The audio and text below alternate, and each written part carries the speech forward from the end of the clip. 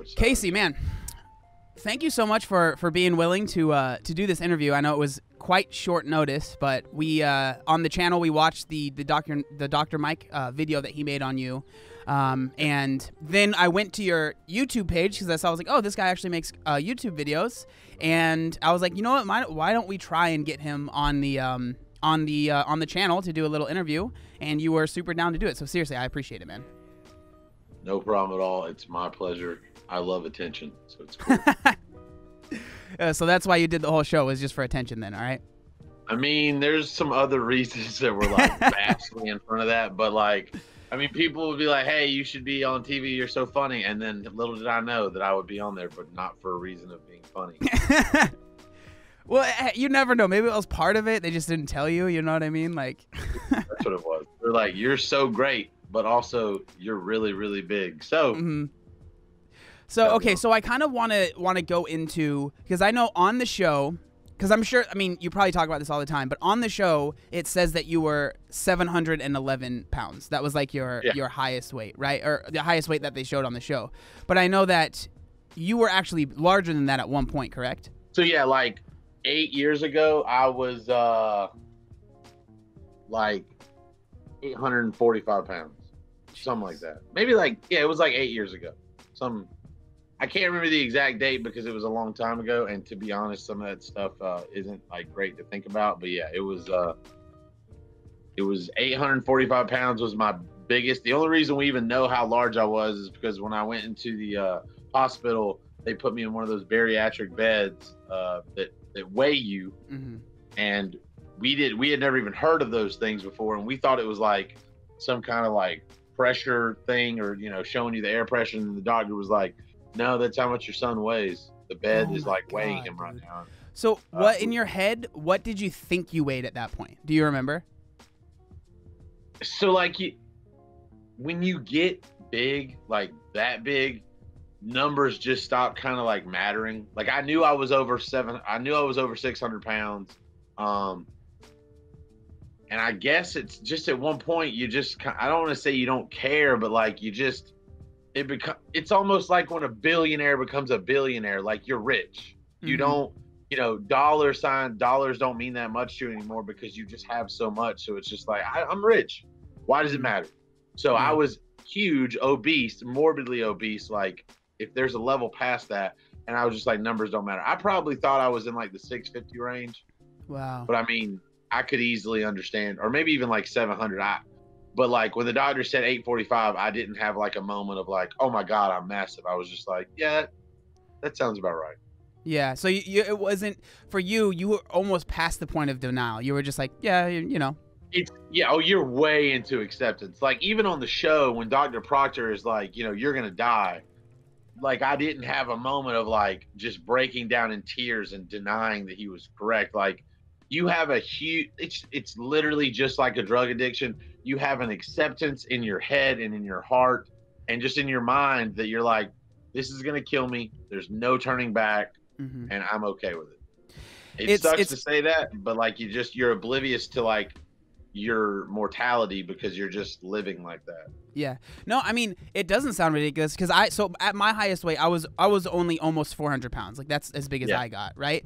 But even then, for me, I was at that point. Like if a doctor said you're gonna die, I was just like, I know that I'm gonna die because of this. But I just kind of I don't know if this was the same for you, but like I just kind of accepted it because I was like, there's no way I can lose weight. I've tried to lose weight a, a bunch of times. Like my weight is going to kill me. Period. Like that's just how it's Oh, going yeah. to be.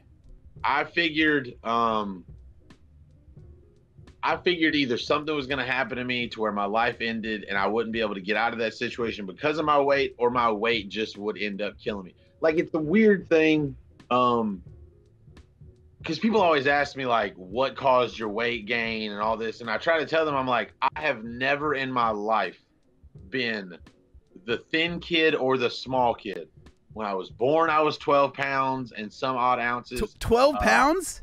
yeah i was literally or maybe like i think i may have been 11 me and my brother uh, i can't ever remember the exact number but i was around 12 either i was 12 pounds 11 ounces or i was 11 pounds and like some odd ounces to be 12 pounds. Um, but i was huge. I was a big Yeah. kid. Um, and my mother gave birth to me naturally. God bless her. She's um, but like uh I, like I've never been small. The smallest I've ever like when I was a kid, you're really active outside. So like, and I played uh, recreational baseball, so like that kind of kept the weight down. But even then, I was chunky. I really like to eat. Um, it's always been fun. I love food. But uh, and then in Same. high school, I think the lowest I ever got, like my senior year, was 250, and that's not awful, but like that's the lowest I got. Like I easily was pushing 300 at one point in high school, and then I got to 250 by doing like I think I did Metabolife Mm. uh, and some other diet pills because my mom's had me on so many different things because this was all before like surgery was ever an option. Uh, so I've tried diet pills, I've tried um, diets, I've given the gym thing a try, but just food was always there. So Mhm. I've always been big, always. Yeah. That's what I that was what I what I was going to ask next was how you gained the weight because I think like something that people always talk about when it's like someone has a, an amazing weight loss and like they've lost a lot of weight is like how did you do it? How did you do it? But what I think is not more interesting but at least as interesting, your dog is so cute, is how how you got to your biggest size because everyone has such a different story. Like it's funny because your your story sounds very similar to mine. Like when I was in high school, I was actually around that weight. I probably was like 300 when I graduated. I never really lost any weight. Like I was, I just gained. Like I pretty much just gained until I started losing. Actually, finally deciding to lose my weight. Um, but it's it's really interesting and but I feel like people that got as you know up to 700 800 pounds for the most part it's people that have been overweight basically their entire life like it just kind of continued Yeah, to rise given yeah, I, I've the only thing I've ever heard is either they were they were always overweight, battling some kind of thing, or they got like an illness. Like I do, I do know. Um, I can't remember what it is, but like if you're a diabetic and you don't take your insulin or you do something like that, one of those can cause like weight gain. So I've heard of like that happening, and then other otherwise them just getting like a rare uh disease or something that causes weight gain, or they get put on like some kind of medicine steroids or something their- like that yeah, steroids are like they're, they like I have heard of birth control actually causing like Yeah. a tremendous amount of weight gain. Um, but other than that, most of the time it's just you were always fat hmm and you got fat. So I'm kind of But, uh, curious when you uh so you were like the thing that blows my mind is that you were at 845 pounds at one point and then in the Yeah. show you're 711 pounds. So take me through like how did you what what happened there? I'll give you like a whole thing. So like I- Perfect. so like I was I was probably pushing like 400 pounds, and I worked in restaurants, and you get discounts. So I ate at those restaurants. I got free food. So um, I got bigger, um, and then I got to probably like 500 pounds. Probably so my my highest like active, normal, still driving, still trying to work weight was probably like 525. Uh, and then I was sleeping at my mother's house because I had to work like that afternoon or the next day or something.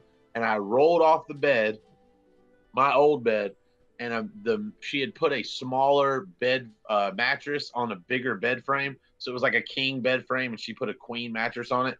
I Mhm. rolled off the bed, and the box spring, which was or not the box spring, but the frame that was metal, went into my ankle and like cut it open.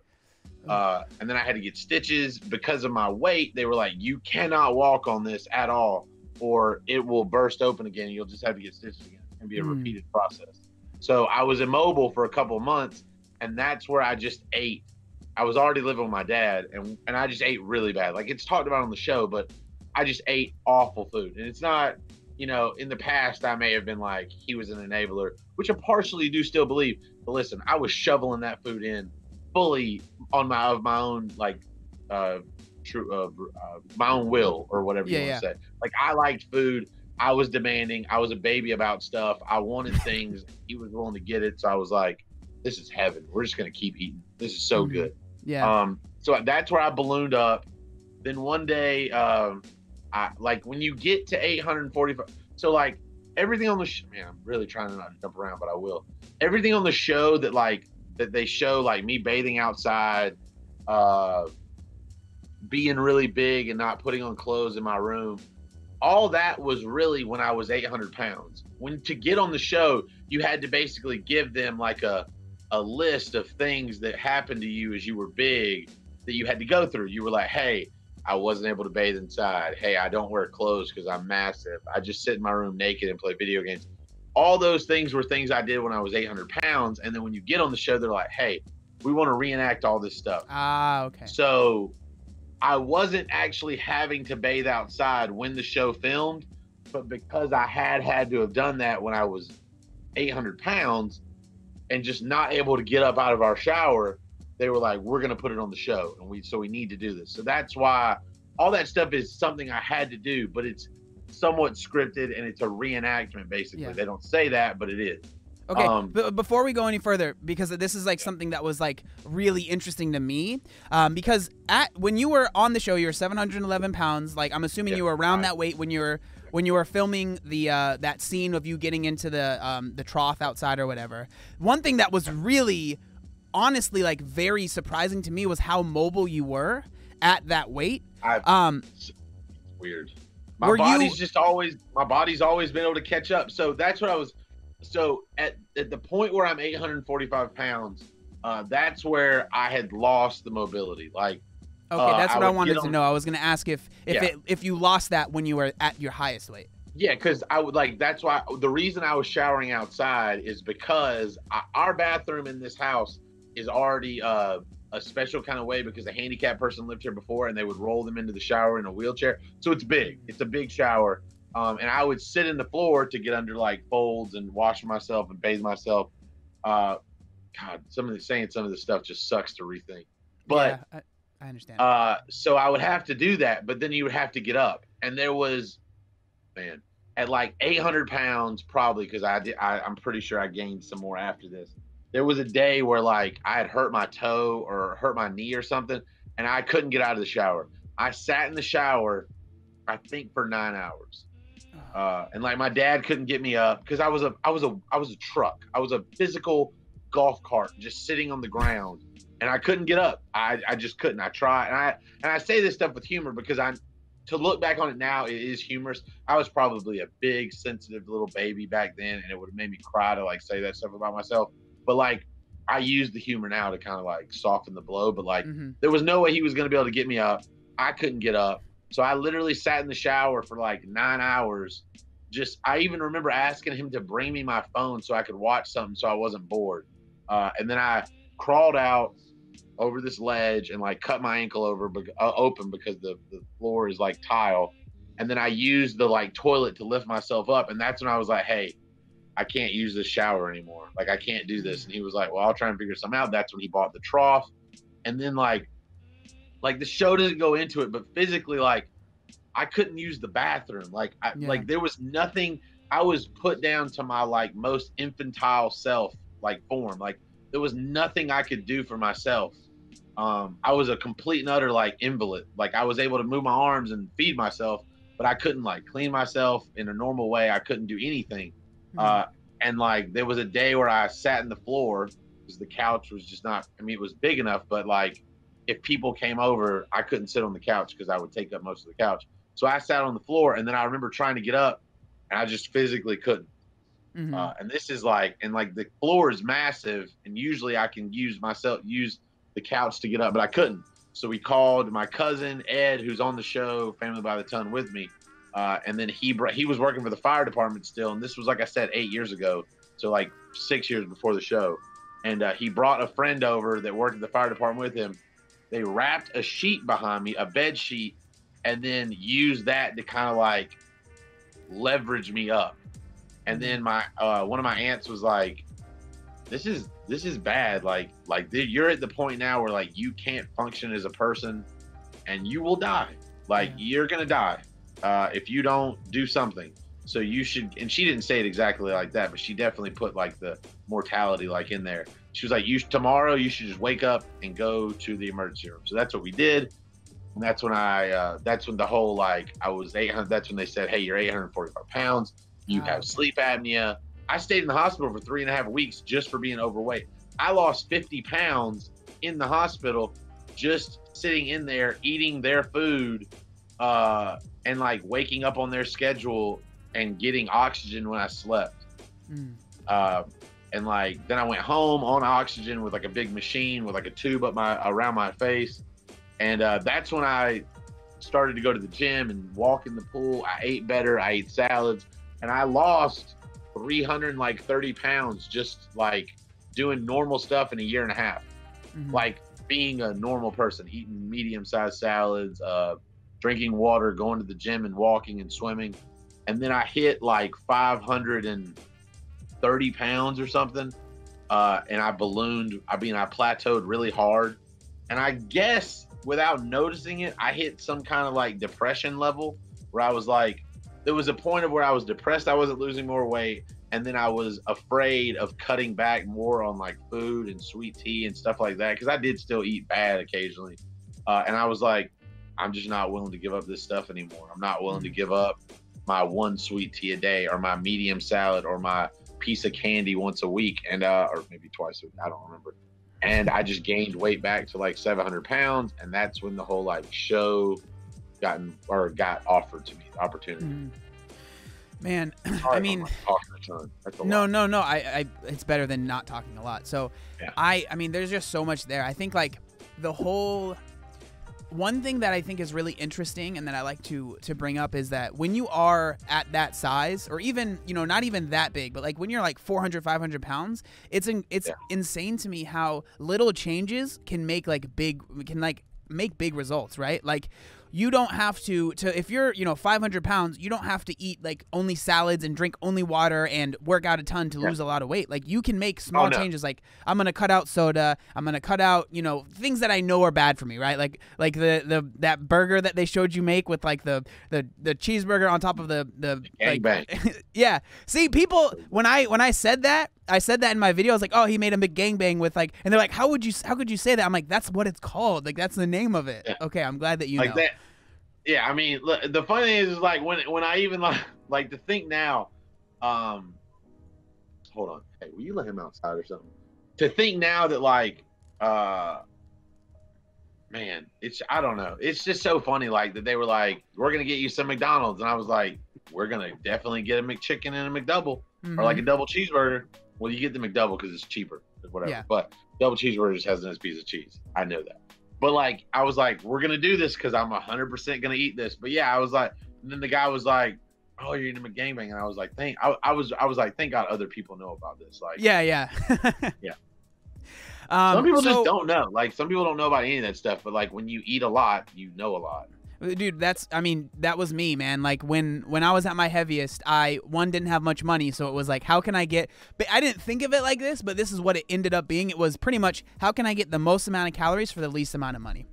Oh yeah, all day. that's How can I get the most food that tastes good mhm. without spending like all my like listen it's not about like you want a steak let someone else buy it. You got you got you got six seven dollars?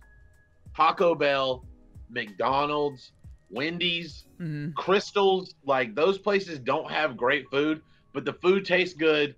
The end result may be absolutely awful for you to live through but the food when you're taking it in for the dollar you're putting out there is so good. Mhm. people can like you know crap on those places all they want. Those are billion dollar companies. Oh yeah. So they're doing something right Yeah, for sure.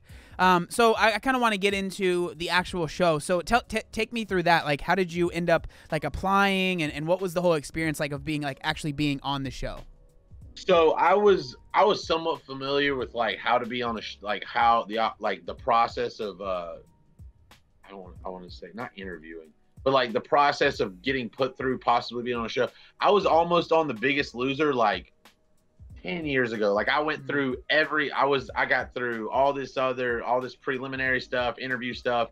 And then they just wanted a five minute video about my life uh and like the difficulties of being overweight. And i guess i just didn't take it seriously so that never went anywhere. But a friend of mine uh when i was like seven when i was in the 700 pound range she uh a really good i mean she's basically if i don't say this she's my best friend. I have to say that because if she watches this she'll be annoyed. So she messaged me on facebook and was like hey i have a friend of a friend who has the opportunity to be on this show. It would involve getting uh, weight loss surgery and they would just kind of like film your life uh, and like you know a day in your life or whatever. And it would be you know whatever. I don't she didn't know all the details but i can get in touch get, get you in touch with that friend who can then get you in touch with my other friend or, or her friend.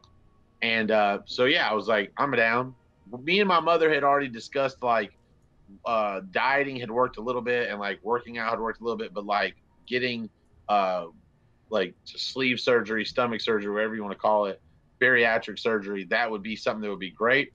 We were saving up money kind of to try and get it done. And this was like a golden like ticket being handed to me. And I was like, yeah, yeah. done. Uh, so I got in touch with my friend Amanda's friend, Nikki, and then Nikki got me in touch with Amy, who's on the show with me. Hmm. Because I had, she's not really, okay, know this might break like some people's way of thinking everything on TV is real, but Amy and Amanda on the show are not my cousins. I had never met either one of them before the show. uh, and like that's another thing that like really blows my mind. People think like the show is so real. And the first thing I always jump to tell them is Amy's not my cousin, Amanda's not my cousin. I'd physically never even met them or heard of them before the show. And then they're like, Oh my God, everything I thought I knew is a lie. And I'm like, Yeah, that's right. I'm not a jerk. Right. yeah, well, that's kind of that's what that was one of the things that I wanted to talk about is because like in the show they definitely paint you as like this really um, negative and like really mean what? to you. Like they make you look like you're really mean to your dad. Okay, so I probably was. Okay, mean. all right. So like that's man, it's it's so it's crazy. Like no one would ever go up to like a drug addict that's just addicted to heroin and be like, "You're really rude to your mom." Mm-hmm. Like I it's, was it's... in a miserable, I was in a miserable situation, and I'm not, mm-hmm. I'm not making excuses. I was an absolute jerk of a person. The show, in my opinion, def- definitely like amplifies it. They cut out a lot of funny, good conversations to specifically make me look like the world's biggest jerk. I'm a baby. Um, I've had people message me on Instagram and say some not so great things to me, which is understandable because because of the things they've gone through in their life with their parents, and you know they miss them or, or, or they don't see them anymore or something like that. They're just estranged or whatever. And uh, and I, I'm like, hey, listen, like the show is made to make you either one like bond with me through the fact that I'm huge and you're like, mm-hmm. man, this guy's struggling. I want to see if he makes it. I'm big myself. Or they want you to hate me because you're going to watch me because you don't like me. Or mm-hmm. maybe they're going to like make you feel bad for me or something. They don't really care if you like me or not. They just want you to watch the show. Like they they don't care if you think I'm a good person or not. They just want you to watch. So, and then the whole so the other funny thing is is on the show, they definitely make it look like I'm not, you know, I'm not getting the surgery. Like they're they're like, Casey doesn't know. Listen, Casey, this is what we need you to say. We need you to fully express this opinion of being like still really scared and on the fence of getting the surgery. The only reason I did the show, except for the fact that I love attention, which is admitted, uh, was because the surgery was involved and they were paying for it. That's yeah. it. I had no insurance. They were like, "We'll help you. We'll figure this out. Uh, everything will be paid for through us. So just you're good. And I was like, done. Mm-hmm. You guys can make me look like the biggest jerk. I mean, I didn't know that, but now yeah. thinking afterwards, I really don't care how bad I looked. Um, and like, the, it's people are all, some people message me, and I do kind of think this in the back of my head is, uh, they, uh, what's it called? Not exposed. When they use you for something. I mean, you just say that they used you for it. Yeah. Yeah. I mean, they used me for views. They mm-hmm. exploited exploitation. Exploited. There we go. A, yeah, there you go. They exploited me, and uh, and the rest of us for views. Of course. Like they, like you know what? But that's that's that's a network television show's job. Is for 100%. views. Like I don't blame them. I'm not mad at them. Do I kind of wish that I had not said some things that they may have lined me up to say? Sure. Do I kind of wish I could have been like, "Hey, Dad," when they tell you to walk in the room and talk about your your order being messed up? To you know tell them that you've already ate so i don't look like a big jerk for taking your food that you didn't actually want or need or mm-hmm. like you were never supposed to get. Like there's the show is slightly scripted suggested situations and uh um they hand you these things called beats and they're like we need you to say this. Say this. This needs to be said a lot. Express this a lot you're upset right now. Remember that? Remember, let's take you back to that moment so you can express how upset you are. Like they they make you look a certain way because they don't care. They just want you to watch. Yeah. I mean, it's it's it's funny because like when you talk to someone about it, it's like yeah, of course. But then the people that like when you are caught up watching the show, it just seems so real that you're Oh, like yeah. I don't know. Like it's hard to to make that distinction unless you're there.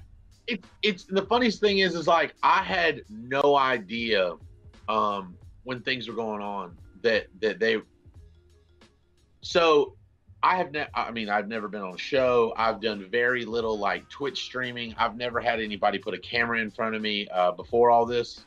I mean maybe like little like videos on Facebook or Snapchat Yeah. whatever. But um and I like to perform and be funny in front of people but I've never had anyone take something I've done uh, edit it or do something with it and then put it out there for people to see. I've never had that kind of thing. I've never been ex- in, in any kind of like TV show thing. But there was a point to where I would physically see the other people on the show go up, be in a bad mood, and then just cameras on and they're like, "Hey, how's it going?" Like Mhm. they're they're not happy. They're annoyed. Camera turns on. How's it Yeah. going, guys? I'm really happy. And I wasn't I wasn't doing that. If I was Mhm. annoyed, I was up at eight o'clock in the morning. I was annoyed and Yeah. I wasn't happy, and it was going to show on the show because I just, I'm, I'm pretty genuine. I don't usually talk with a filter. I don't, um, I say what's on my mind unless it's like super controversial and I don't want to be in like a stupid conversation. But like, I don't, I didn't change. And at one point, I was like, okay, from now on, when this camera turns on, I have to be a specific person because I know that I'm not looking good Mhm. because I know that they're catching me in these awful moments, and um, they're they're specifically trying to make me look a certain way. Like there's a there's a there's a scene from the show, and uh, they we're in the doc- the doctor's office, and I'm talking to my mom and my dad and the doctor about um, video games not really being like the issue, and then when we go back into the lobby, they pull the camera back up. And, and it's it's me now arguing with my mom and my dad about uh, the conversation we had just had that wasn't being filmed. Mhm. The, sh- the day was over. That was a conversation we were having in the lobby while the cameras were off, and they just and I don't even think our uh, mics were still on us. They had already taken them off. But as we were having this like real argument, because I was truly annoyed, uh, Mhm. they were like, "Camera up! Oh my God, Mike, get the camera, pull it up." So that they started to film again, and that day my mom was like, "If that ever happens again, I won't be on the show." Yeah. she, she was very annoyed that we were having like a real argument uh, on the show. Um, to this day, I still stand by my opinion, but whatever. Uh, uh, but yeah, like they they don't care if you like me. They they they just want you to watch. Mhm. I mean, the perfect example is there's another show that's basically just like ours. Uh, it's called Sisters by the Ton or something. They're now getting a second season. Mhm. They're doing it. We didn't. We Yeah. all lost weight. I believe one of them didn't. I, I didn't watch the show because I can't watch stuff like this about uh, stuff that I went through. It's just I cry so Yeah. No, I understand. Yeah.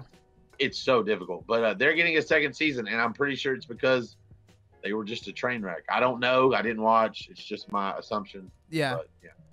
So okay, I mean, there's so much there, but I wanna I wanna get into like your actual weight loss, um, Yeah. because I think it's dude, it's it's crazy, dude. Like how you look now versus how you look, dude. It's it's it's unbelievable. Um, so I kind of want to talk about like. You can bring up the show and stuff, obviously, but I mean, like, as far as like the surgery, how that went for you, how the recovery was, and kind of how your journey has been since that happened. I'm, I'm interested in that. Yeah okay. Anything in particular, or just like Well, I'm just kind of curious, like, what was going through your head when you, like, the day that you got the surgery? Was there any like special protocols you had to go through? You know, stuff like that.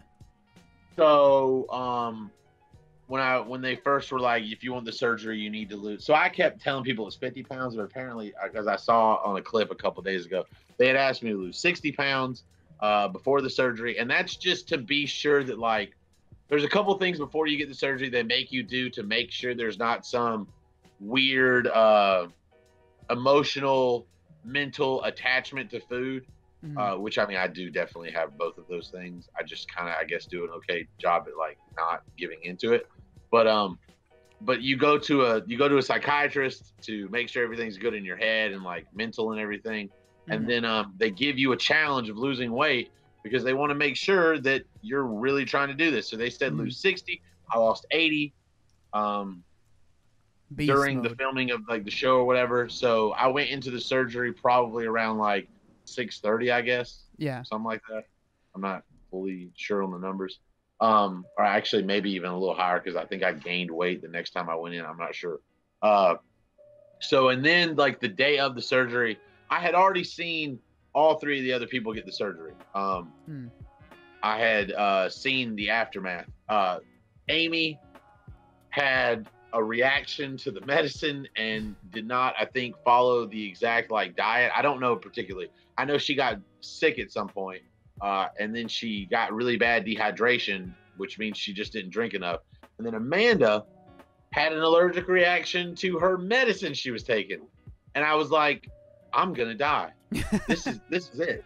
This is I, like both these people have had this surgery, went into some crazy like spin. Like Amanda was in the hospital four like four times after like literally the day Ed's getting his surgery, and that was real. She was getting taken to the emergency room in the hospital, and I was like, "That's it, like guys." I don't know if this is it. Like, this ain't it, Chief. Like, I'm Mhm. really not feeling this whole thing. I knew I got to get the surgery, but like, to think that now I have to get something like I might need to fear life living afterwards is just not a fun thought. And then Ed gets the surgery and he's like, I'm going back to work in two days. Uh, like he's like, yeah, I'm feeling great. Had the surgery. Uh, I'm going to work. Like he had surgery on a Monday. He was, I think, back at work on Thursday. Jeez. Literally. And it's not just, so he, but he was the smallest of all of us. He's the tallest. Uh, so the weight was gonna uh, be not not as difficult. The weight wasn't as much as like a, I mean, it was immobilizing, but it wasn't so much of a thing because he had also lost weight before the surgery as well. Um, so like, he was good. He was functioning like a normal person already, and I was like, okay, so wait, she got dehydrated, which means really she didn't drink. She just didn't follow exactly what she was supposed to do, I guess Mhm. which is still not not easy because they want you to drink, but you don't feel like drinking because you just had surgery. And Yeah. then she had an allergic reaction, and then he's like doing backflips. so like this could go really well, but I was still super scared. I had never had surgery. I had never been put under. I had only had stitches like twice. Mhm. That's it. Uh, so I cried. I cried when I got to the hospital. I cried when I saw when I like checked into the hospital. I cried when they took me back to the room to get ready for surgery, and then I cried as they wheeled me out from saying goodbye to my family. Mhm. I was pretty emotional, yeah. uh, to say the least. I was terrified, which is really funny because like the Dr. Mike even said it. He's like, he, I, I was scared to get the surgery because of like, uh, they had said when you get put under, there's a chance you may just not wake up, especially when you have something like sleep apnea, which I had. So I was like, both of these things are not good. Yeah. Uh, and then he's like, it's funny, this guy, Casey, is scared of going under and getting this surgery because of all these complications. But like, he doesn't understand that, like, there's so much higher of a chance of him dying from just being obese, which is really funny to think about because it's like I had fully accepted dying from being overweight and Mhm. not and not even think about it one way or the other. But like getting this surgery was terrifying. It's it, like I said in my video. funny how that It's the uh, it's the fear of the unknown. I think is the biggest Yeah. thing. yeah, Yeah, like there's an acceptance thing that you've accepted, and then you're like, but we never talked about this. Like I don't, Mhm. I'm cool with this because I'm there, and I know that might happen. But this whole like left turn that might happen, I don't, I don't know how that's that's scary. Mhm. And that's really what it was. Like exactly what you said, the fear of the unknown. So how was your um, like recovery, and then what was it like? Like how much food were you able to eat post surgery? Um, and then like I, I would love to know like how are you? How did you get to where you are now? Because I mean you look freaking insane. Like at the end of the show, you were still like five hundred something pounds, I think, right when they did that reveal or whatever. And now you're much much leaner than that. So I would just love to hear how you've done on your own. Killing. You are, Yeah, hey man, you are, um, bro. When when yeah, when when. So- when Dr. Mike showed that last the video that you posted on your channel, I was I was dude, I was genuinely blown away. Like I was so it's it's insane, man. Oh, okay. So, so like, uh, let's see. After my recovery, great. I would, if anybody, if people ask, should I get the surgery? And I'm like, yeah, do it. Mhm. There was the there was never pain. The only two things that were ever painful, maybe there may be some I'm forgetting, but the anesthesia getting like stuck in your shoulders, that was that was uncomfortable, and it Uh-huh. was never like, oh, I'm dying. It was just uncomfortable. Um, and then I had to have a drain in my chest for some odd reason. I don't know exactly why. I don't think anything went wrong. It was uncomfortable when they pulled that out because Mhm. it's a tube leaving your body. That's Wow. a weird feeling. And then um random other complaint, my buried my little bed broke uh like leaning up and down, so I had to sleep with my feet hanging off the edge. That's legit all my complaints about the surgery. Wow. There was no extreme pain. There was never a moment where I was like, "Ah, this is so bad." No, Mhm. it was all easy. Yeah. Like it, it was nothing. And I'm and I'm I'm such a wuss. I don't like being pinched. I don't like being bit. I don't like stitches. I don't like pain at all. I cry instantly. Um, I'm such a baby. But but like I the like I don't even like shots. And the only thing also I didn't really love was you have to get uh blood thinner shots or something. I think that's what it's called. Don't quote me on this, but the heparin, uh, they put it in your, you know, you have to get that tiny little shot in like a fatty thing. But even that needle is so small that I didn't feel it. Like it was Mhm. nothing. Um, so that like the recovery was super easy. Uh, I have no. I, I tell people over and over: if you're fearful of the pain or whatever, get the surgery because it's nothing. Unless Mhm. you just don't follow the protocol they tell you afterwards. Um, and then afterwards, you know, it's just liquids, water, ice. We were buying Zaxby's and Chick Fil A bags of ice every day, which is only a dollar. Yeah. But that ice is so good. It's that little crushed ice. I don't hmm know. trying to tell. But like I would eat that all day, and then I would have uh like some Jello or a Gatorade Zero, Powerade Zero, whichever one it is. Not a sponsor. Uh, and then uh, the best meals I would have at first were this was and this even thinking now how good this was. So you take Campbell's chicken noodle soup, strain everything out of it to where it's just the broth. Then you add a little bit of no salt because it has no sodium, and that stuff is so good. A little bit of pepper, and then like hot sauce. Not a ton, but like a little bit for flavor. And I would just eat that for dinner. Mm. And it was so good because at first it was just water and it was no Yeah. taste.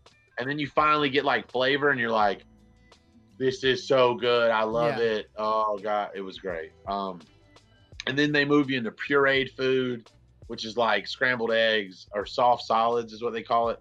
Pureed, uh, like chicken or like baby. I think you could eat baby food. You could eat like uh, the, we we made like a cauliflower chicken casserole thing that I was able to eat.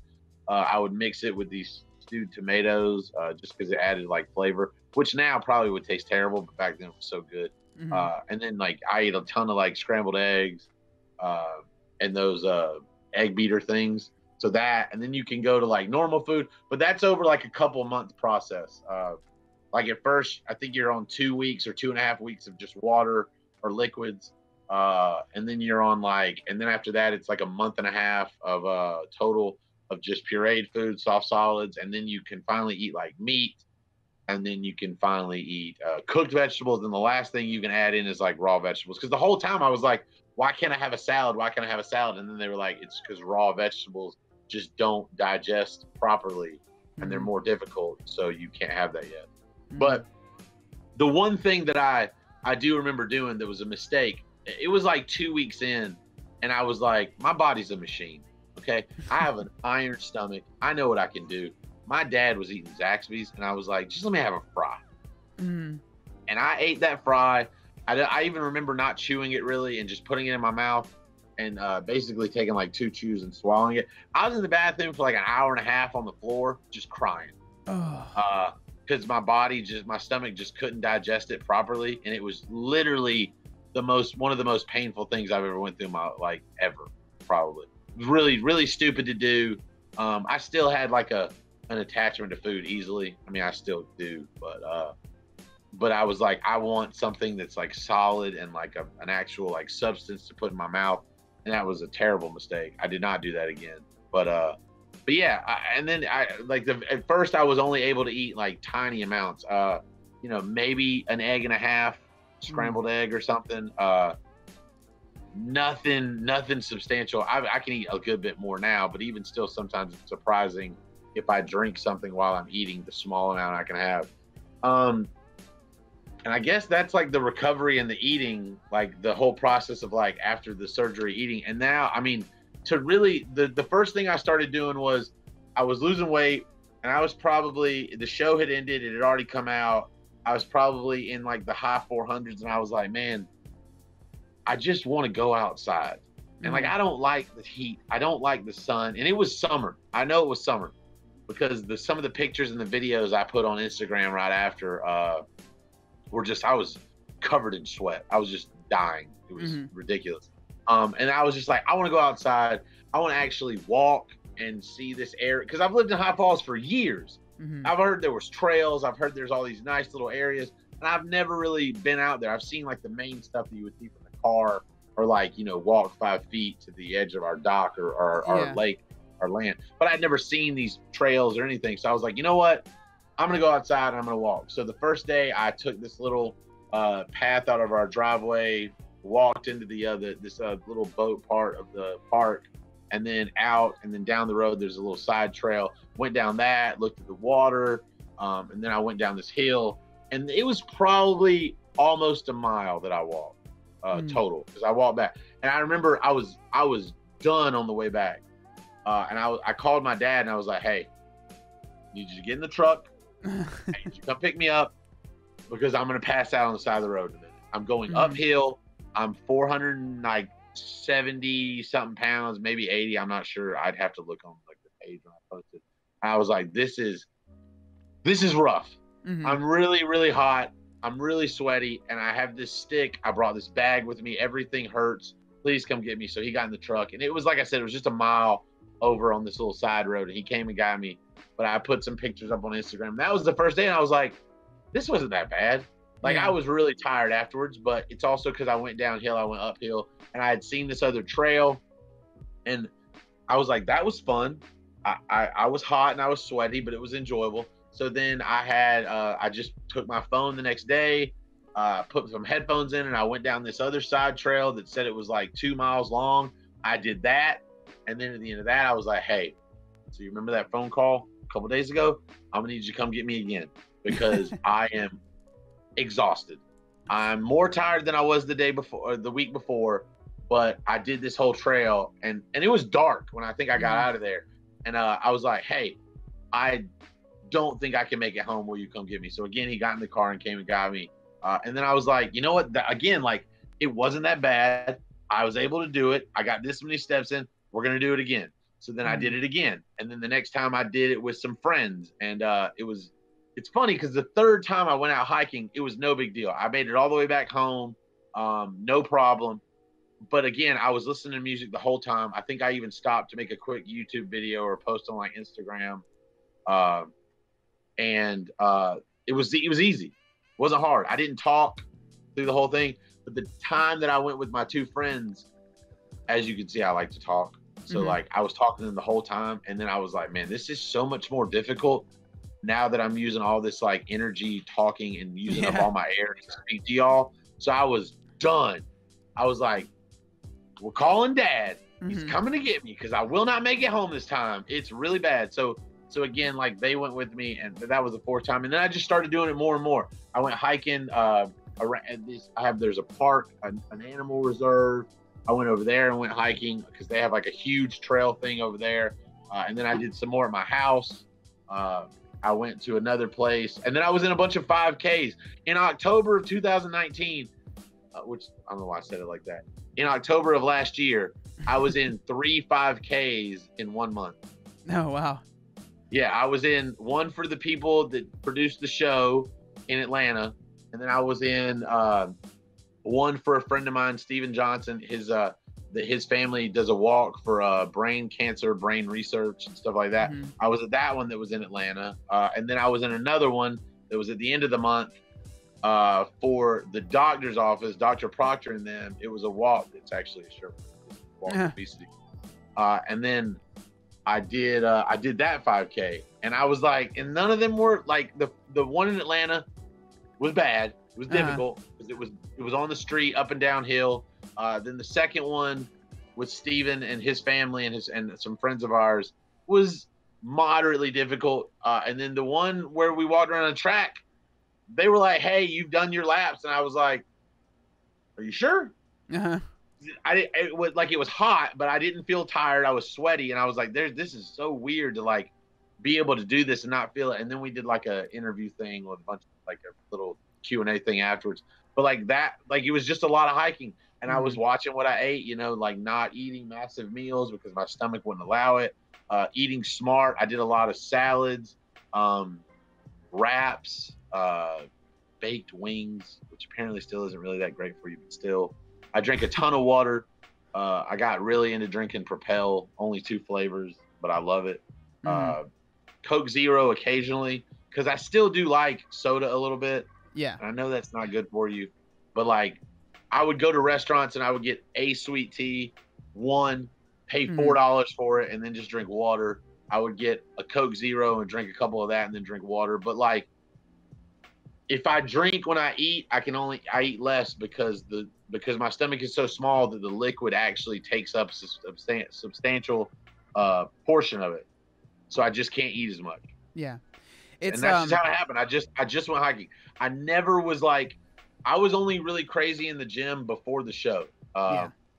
I, I had a personal trainer, not the guy Dex from the show. I went to the gym and did some like exercise stuff, and then I would swim, and that was all well before the show. Uh, mhm. really, afterwards, I mean, I probably could have lost. I probably should be smaller than this if I would have put more effort into going into the gym.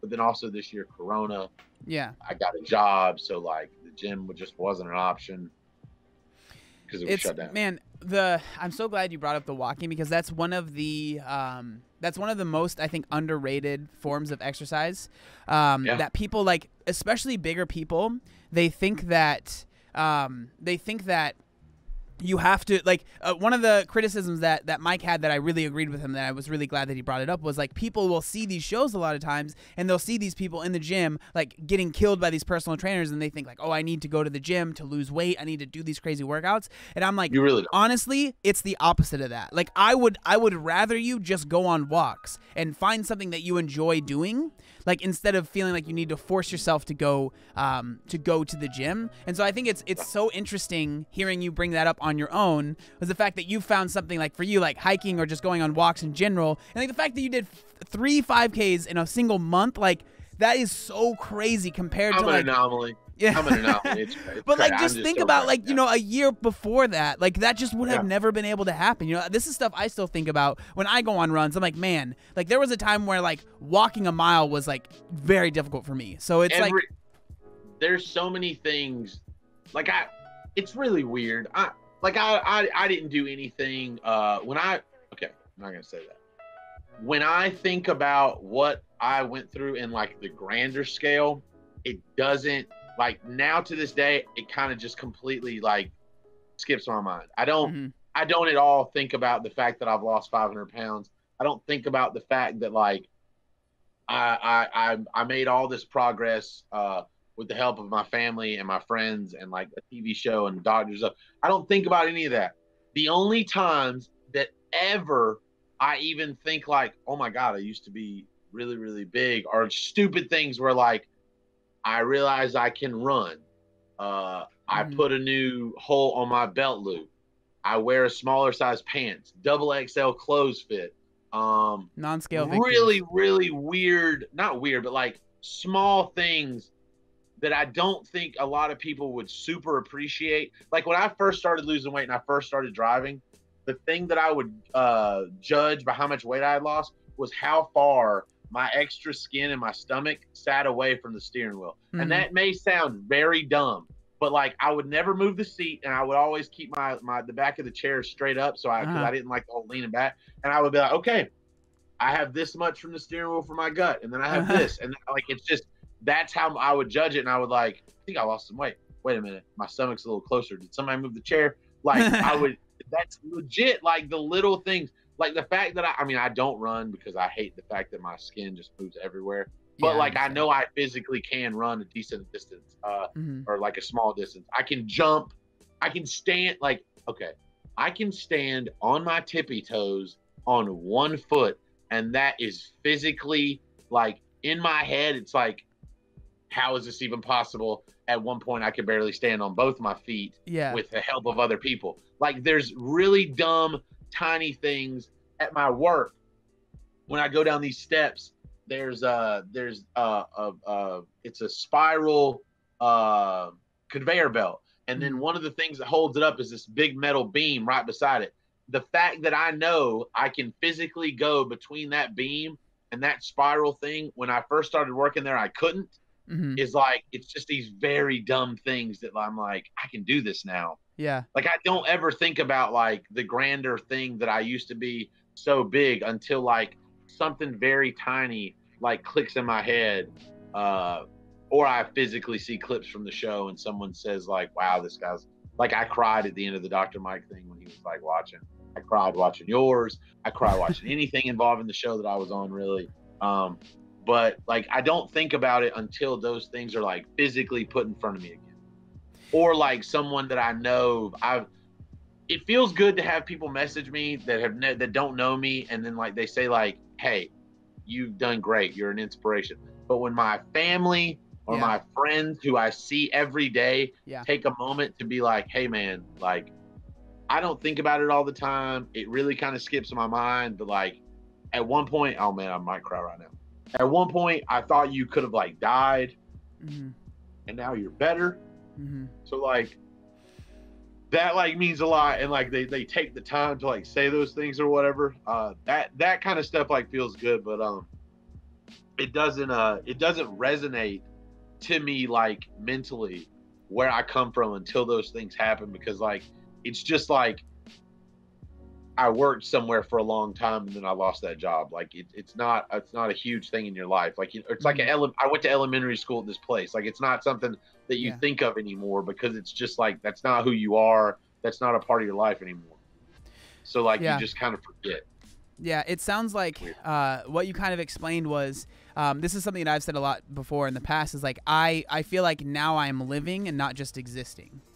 Like Yeah, when I was at my heaviest, I felt like I was just existing, and now I'm like living. And I think like all those little things, those little like you know non-scale victories, some people call it, is like those are things that remind you, oh, I'm living a life now. I'm not just existing in this body. Your life becomes you, you your life becomes monotonous. It's a Mhm. routine of like just miserableness. Like Mhm. when I like it's ju- it's the same thing when like a person has the same 9 to 5 job for 10 years they had they go home and then they're they're living in this what they would consider well I would consider like a dream life have like a wife and some kids. They go home from their crappy job to their possible crappy house. There may be a crappy home situation. And they just they live in this this cycle of just awfulness. And then they just begin to hate everything. Mhm. and that's what I did. I woke up, ate a ton of food, played a game that I enjoyed, um, but just lived in this mir- miserable like cycle of negativity, and it was just awful. And I and I didn't do anything. It was the same thing every day. I wait. I woke up in the middle in the afternoon around twelve, ate almost the same thing from the same place almost every day, played the same video game literally for five years without Destiny. What's up? Mhm. Uh, don't play it anymore. But I played that game with the same people who I loved. They were my friends. It's it's even weird to like. I had I had a completely different group of friends because, and they were all virtual friends. They were all gaming friends spread out across the U.S. and like a couple other countries and stuff. And they were my friends. I talked to them so much more than I spoke to my own family and my other like like real life friends that- I did things with because they would come down. I wasn't able to really leave the house they would come down and eat at my house one night and we would catch up a little bit but like i spoke to my my gaming friends every single day. My mom and my dad my dad may get it a little bit. My mother still to this day has no understanding of the connection i have to these people that meant Mhm. so much to me that they were my family. They Yeah. knew about the show when it was going on. They knew about the difficulty of me being overweight. They knew about everything um because i spoke to them every day for hours. Mhm. I still keep in touch with a couple of them, but some of them still game a lot, and I don't do it near as much. And that was just like the disconnect. But there's, but there are people. Some of them I plan to go visit next year. Like I want to see them because they mean so much to me, and they don't understand. They probably don't comprehend fully how much they really meant to me at one point in my life. But like I didn't see my real life friends because I lived in this just awful cycle. And now I exist. I go do things. I mean, I do have a monotony of like work of a monotonous kind of life, whereas I work Saturday, Sunday, Monday, Tuesday. But like, I like my job. I love the people I work with. And then Wednesday, Thursday, Friday, Saturday, I could physically do anything I want. Yeah. And that's the best feeling. If I want to mm-hmm. go to Alabama, I could. If I want to get a plane ticket to Florida or Hawaii or California, as long as I'm back here Sunday afternoon to go to work, everything's good. And I have the money to do that. I have the ability of getting on a plane. Yeah. I can't even explain to you how how good it felt when I got on that plane to Texas like, like a month ago, and I didn't have to ask the woman for a seatbelt connector. Yep. I broke down in the plane on the in the seat. Luckily, there was no one sitting beside me. I was bawling, crying because I didn't think it was gonna fit. Because that's, I mean, seatbelts on a plane are not big; like they're already Mhm. small. The fact that I was able to get that on with ease was really one of the one of another thing to like hit me and be like, I'm not like massive anymore. Yeah. This feels so good. Um, and that was one just really big thing to hit. But like the fact that I can do whatever I want and I exist so much with just the drop of a dime, I can do whatever I want is just such a different life than being like, hey, we're waking up at 12. We're going to play this one video game for about eight or nine hours. We're going to Mhm. watch. I mean, the. So something I brag about, but it's terrible. I watched. How many seasons of Game of Thrones were there? Eight. I have no idea. Is that a weird question? Okay. it's All I question. know is the last I one watched- was, was not good. I watched seven seasons of that show in a week, Jeez. and they're hour long episodes. Yeah, that's no joke. I woke up watching the show, went to sleep watching the show. I didn't do anything else. I know that may like not really sound shocking to someone, but the episodes are an hour long. All I did was sit in my room and watch that show. hmm So my entire day was just watching Game of Thrones because I wanted to catch up and watch it with my friends. But like that was something I did because I had nothing else to do and I wasn't doing anything. Yeah. And that's really awful to think about. No, it's I mean it's that it's that that prison that you're that you're in. Like I used to explain when I was bigger, I was like I feel like I'm trapped in an obese version of the real me. Like I am not like I, I felt like there was someone else inside of me that was trying to get out but just couldn't because like I was literally trapped inside of that. Um Your, and so that's your why weight is your identity. Your Yeah. weight is who you are. Mm -hmm. And that's why I like to say like I wasn't I wasn't living, I was just existing. oh yeah, Um, I agree with but- that fully. But man, dude, okay. Um, we need we need to end this because this has been over an hour now. Um, but Okay. dude, I uh, yeah, I I appreciate you so much, man. Like sharing everything. This was this has been absolutely amazing. I you have been very open with everything. Um, if there's like one, you know, one last thing I li- always like to ask everyone that I like interview or have a conversation with. If there's like one thing you can say to someone that might be in your position when you started, um, you know, what would you say to that person? Someone just asked me this like a couple of days ago. Um, it's really, it's really difficult to get someone out of like a habit or like a lifestyle, especially when like they're maintaining. Like, if you, you know, people, you know, there may be someone out, and I and I and I only use this because like I don't, I feel like it's unfair to not understand that like being addicted to food is literally like being addicted to a drug. But like, if Mhm. there's someone out there that just socially uses cocaine or meth or and I know that's such a drastic like jump, but like it's really hard when they're doing it and being successful at like still living their life. But understand that like you're just one bad like couple of months from really putting yourself in an awful situation. Like Absolutely, man.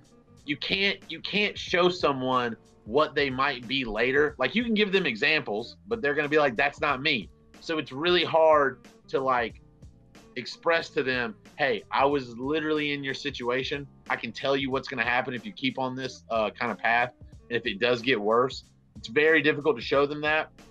But advice, if they want to, if they if they are trying to get out of it, uh, and they're they're they're understanding that this is a problem, listen, cut out small things. Stop drinking so much sweet tea or soda. Uh, and I say sweet tea because I'm from the South. Just try and get more water in your diet daily. Mhm. Uh, before you eat, drink water. After you eat, drink water. Before you go to bed, drink water. Drink more water. Uh, try and eat smaller portions, maybe more times throughout the day. Uh, don't have a whole steak, have half. Um, try and cut back on carbs as much as possible. You don't have to cut them out completely, but instead of having like a sub sandwich, get a wrap. Instead of Mhm. having nachos, maybe try and get like whatever you're eating on brown rice. Yeah. Um, try and just lower your calorie intake, increase protein, vegetables. Uh, honestly, I ne- have hibachi, but don't get the rice. It's so good. God, people don't understand. It's great. I love it. But It's, like uh, vegetables, protein. Yeah, I mean everything you're kind of explaining is um is like what I call the common sense diet. You know, make Yeah, smart like- choices. But like they just sugar. It- This blows my mind that people don't know this. This is one thing I actually. This is what I would tell them. Sugar is a carb. That's Mhm. what you need to know yeah, because they don't know it, and I don't know how they don't know that. Like, I was talking to someone that works for an ambulance, like they're they're literally a paramedic, and they didn't know that sugar was a complex carb. And I was like, if you don't know this, then I don't know who may not know it. I think I'm saying that right, but like sugar is a carb. So if I'm telling you to cut out carbs, cut out sugar. Mhm. Like drop that immediately as much as you can if you're, you know, really obese, like overweight. Yeah. If you're if you're small, hey, have yourself some cornbread, you're good. yeah. But Awesome, man. Well, thank you so much for for coming on. Um, we have your your name is down there and everything. So if anyone wants to follow you on Instagram, we got the uh, we got the link. And um, I, seriously, I appreciate it, man. hey, I enjoyed it. I appreciate it as well. Thanks a lot. Awesome, man. All right, I'll see you later, dude. Take care. Later. Peace.